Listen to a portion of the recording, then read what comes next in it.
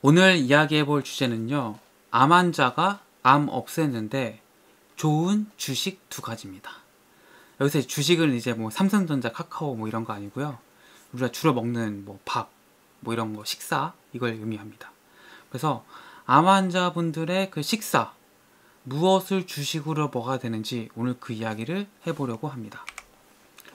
참고 도서는요, 지금 있는 암이 사라지는 식사라는 책이고요.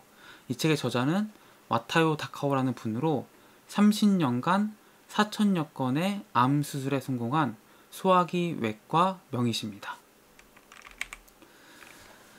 어, 이 와타요 다카오 박사님의 암 식사요법 네 번째 원칙을 보면요. 배아 성분이나 콩류 섭취라는 부분이 있습니다. 어떻게 보면 오늘 이걸 가지고 좀 얘기를 해볼 건데요.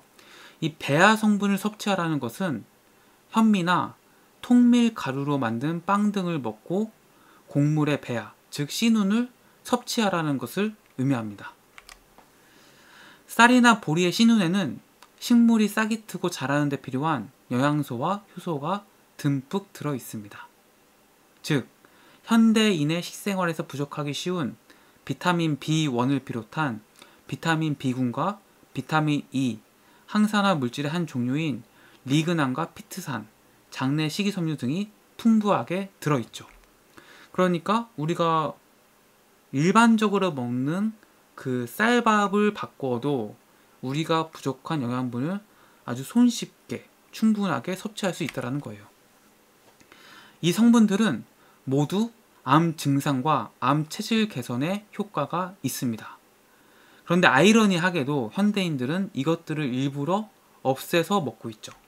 아마 이제 여러분들 다 아실 거예요. 우리가 먹는 쌀밥이 굉장히 많이 도정을 한 것이라는 것을. 배아 부분을 제거한 정백미나 정백 밀가루로 만든 빵. 굉장히 부드럽고 맛도 좋죠. 그 하얀 쌀밥에 뭐 김이라든지 또 하얀 쌀밥에 뭐 스팸 혹은 하얀 쌀밥에 간장과 참기름을 넣어서 비벼, 비벼 먹으면 진짜 그 다른 반찬이 필요가 없습니다. 근데 이게 참 맛이 좋은데 이 영양소적인 측면에서 봤을 때는 이게 소핑 강정이라는 거죠. 우리가 영양분을 제대로 섭취할 수 없다라는 겁니다. 실제로 쌀의 구조를 한번 보겠습니다. 쌀을 보면요, 그 작은 쌀알을 이제 좀 더 구체적으로 보면요, 제일 곁에 이제 왕겨가 있고요. 그 다음에 과피라는 부분이 있고 그 안에 쌀겨라는 부분이 있습니다. 그리고 쌀눈과 백미라는 부분이 있는데요. 이제 우리가 봐야 될 것은 이 쌀겨라는 부분을 보면요. 이게 어떻게 보면 껍데기 부분인 거예요, 이게. 근데 영양분이 29%가 함유되어 있죠.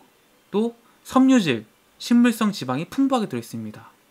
또 쌀눈, 배아를 보면은 영양분이 66%가 함유되어 있습니다. 비타민, 미네랄, 리놀레산 등 다양한 뭐 암에 좋은 뭐 이런 이제 영양소들이 들어있는 거죠. 그리고 백미 우리가 주로 먹는 흰 쌀밥이 이 백미를 먹는 건데 영양분이 5%밖에 들어있지 않습니다. 그러니까 우리는 이쌀 하나에 들어있는 영양분의 거의 뭐 90%를 다 깎아내고 영양분의 5%만을 섭취하고 있는 거죠. 그러니까 우리는 사실은 어떻게 보면 칼로리만 먹는 거예요. 이런 흰쌀밥은 암 환자에게 도움이 되지 않는다. 암 환자뿐만 아니라 일반인에게도 도움이 되지 않는다. 그래서 이 껍데기를 얼마나 벗겨내느냐에 따라서 이제 뭐 몇 분도 몇 분도 몇 분도를 하거든요. 이제 현미 1분도, 5분도, 7분도, 9분도, 뭐 13분도 이렇게 가는데 이게 쌀 껍데기를 적게 벗, 벗겨낼수록 단맛이 적고 좀 식감이 거칩니다. 대신 영양분이 풍부하죠. 영양분이 풍부한 거는 약간 뭐 먹을 때 와닿지 않으니까 우리는 맛이 좋고 먹기 쉬운 단맛이 높고 부드러운 식감을 가진 백미로 먹는 거죠.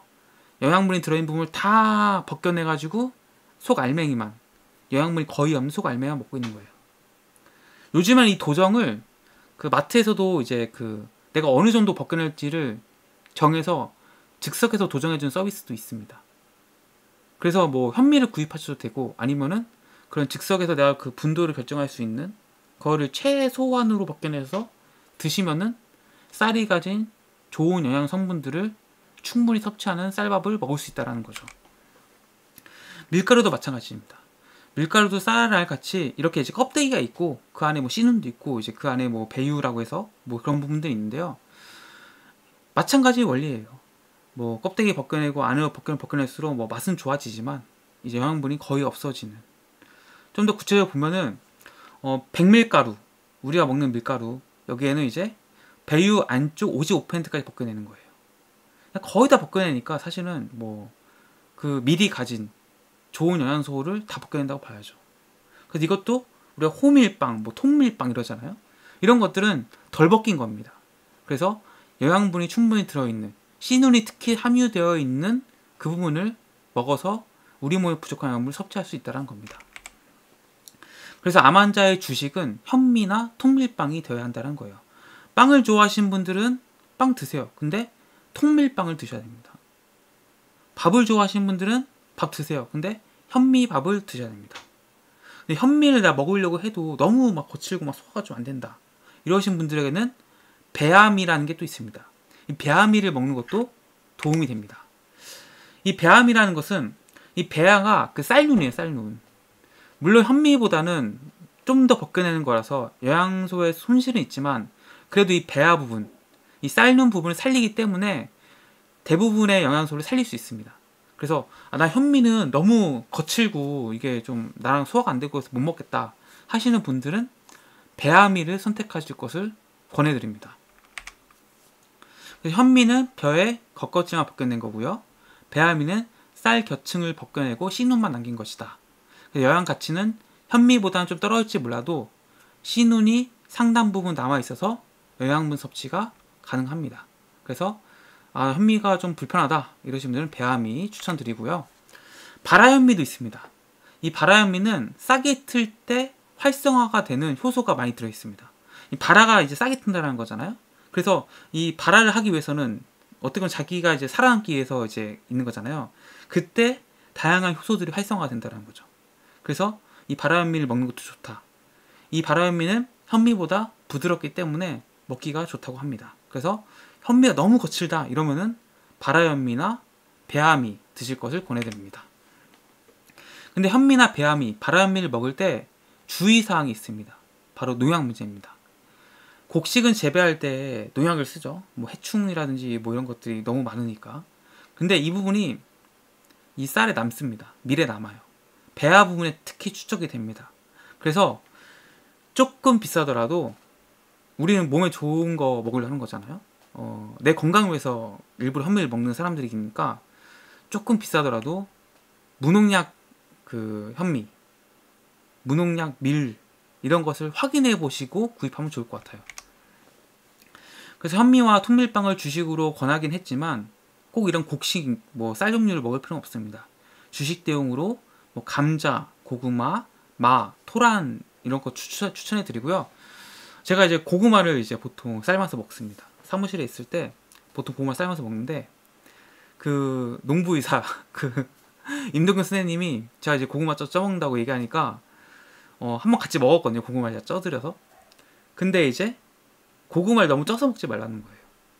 생으로 먹는 것이 가장 좋고 이제 고구마를 많이 찌게 되면은 어, 가급적 덜 찌고 뭐 쪘다고 하면은 다 식혀야지만 이 고구마 가진 그 당의 문제가 또 있습니다. 저항성 전분이 이제 고구마가 온도가 높아지면은 거의 없다가 좀 식는 과정에서 생긴다고 합니다. 그래서 이 저항성 전분 때문에 어, 고구마 식혀서 먹어라 이런 말씀을 해주셨거든요. 그래서 고구마 저처럼 고구마 좋아하시는 분들은 가급적이면 생고구마 드시거나 아니면은 좀 덜 삶거나 아니면은 다 삶고 나서 식혀서 드실 것을 권해드립니다. 어, 이 책에서는 이제 와테어 타커 박사님은 감자를 좀 추천해 주셨는데 감자는 식이섬유가 풍부하고 적은 양이긴 하지만 뭐 비타민과 미네랄 함유되어 있어서 어, 좋다고 합니다. 마찬가지로 감자도 무농약을 선택하셔야 됩니다. 그래서 오늘의 결론 암 환자들의 주식은 현미와 통밀빵이 되어야 된다. 곡식류가 아니라면 감자나 고구마 추천드리고요.